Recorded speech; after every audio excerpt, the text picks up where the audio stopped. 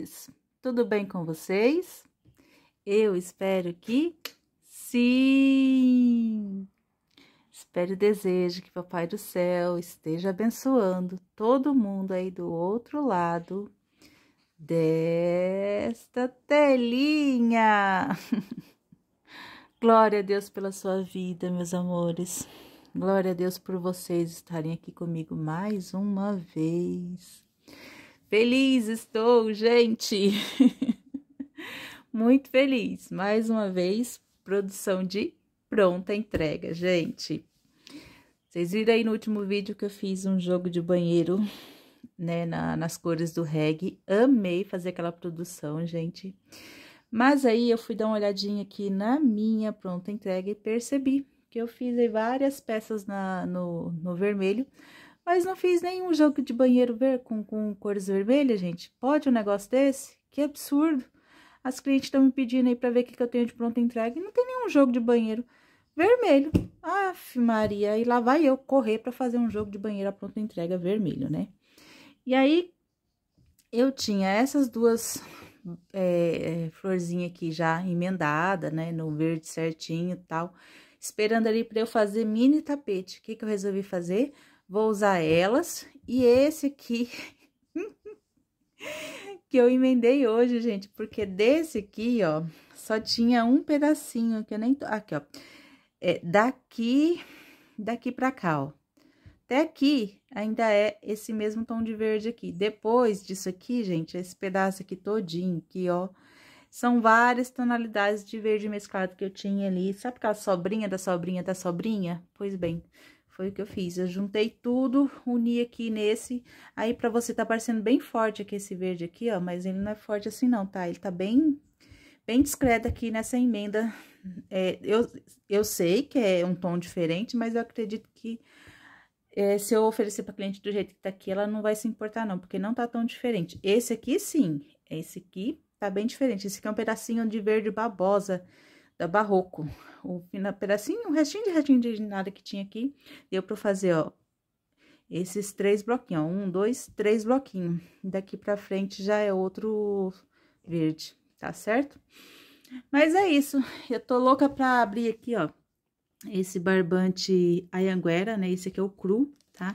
E ele fala, gente, que ele é 90, aqui, ó, 96% algodão, 4% apenas de outra fibra.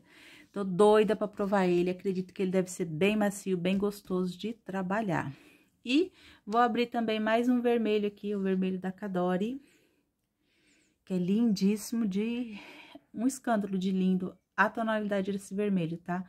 É, a qualidade do fio é bem macio, é, desliza bem, na agulha, porém não é muito torcido, pelo menos os que veio para mim até hoje não veio muito torcido e também não é tão grosso, tá? Não, não tem uma espessura boa, ele é bem leve, na verdade, bem leve o, o, o Cadore, mas é, a, a cor, a cor é maravilhosa, gente.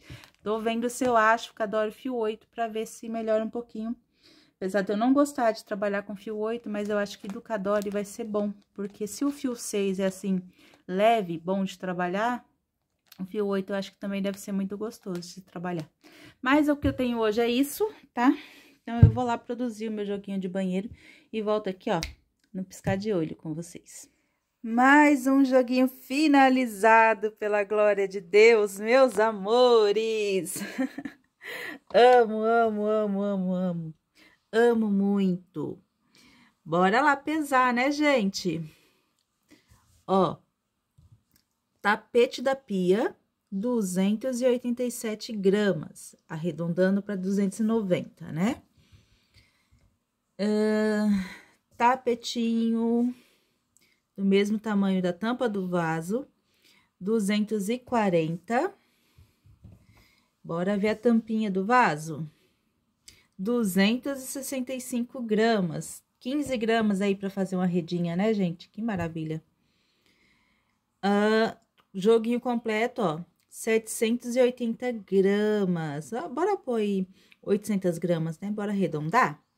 Deixa eu abrir essa lindeza aqui, gente. Ai, que tudo! Tcharam! Olha isso, gente! Que escândalo de lindeza! Ah, eu tô muito chique, produzindo só lindeza, gente. Meus amores, tapetinho Mari com o biquinho modificado aqui, ó. Resolvi dar uma nova cara aqui pro meu biquinho do meu tapete Mari, né? Que eu sempre faço com o mesmo biquinho e dessa vez eu resolvi mudar, gente. Peguei essa inspiração aqui, ó, desse biquinho com esse leque aqui no final, na última carreira, lá no canal da Lu Francisco, tá? Lu Francisco 2020. Não é exatamente assim o bico que ela faz, mas a última carreira é com leque. E aí eu resolvi experimentar, ó. E não é que eu gostei, gente? Olha só, deu outra cara pro tapete. Amei o resultado. Bora lá para as informações desse tapete, né? Pois bem, meus amores, vocês viram aí que eu fiz esse squarezinho aqui, ó, a emenda dele, com várias sobrinhas de, de mesclado verde, né? Só que aí na tela para vocês aparece esse verde aqui muito vivo, ele não é vivo assim, tá, gente? Não sei o que acontece. Ele tá bem, assim, disfarçado aqui no meio dos outros, viu? Tá lindo aqui pessoalmente. E aí, gente, fiz a emenda, né? E fiz aqui, ó, seis carreiras de cru, tá? e cinco de vermelho, para economizar o meu vermelho. Porque tá acabando o vermelho que eu tenho aqui. E as clientes, tenho certeza que daqui pro fim do ano, quanto mais vermelho eu fizer, vai ser o que mais sai. Porque vermelho, gente, é sucesso de venda. Apostem aí em vermelho que vocês vão vender bem, com certeza, viu? Hashtag fica dica. Dica boa, dica compartilhada. Então, vermelho, gente, aqui pra mim é sucesso de vendas, tá? Pois bem, fiz o tapete da pia, que ficou com a medida de 68 por 45, 47, desculpa, gente, 68 por 47, tá? Tô tão acostumada com fazer de 45 de largura que eu acabei me confundindo aqui agora para falar para vocês.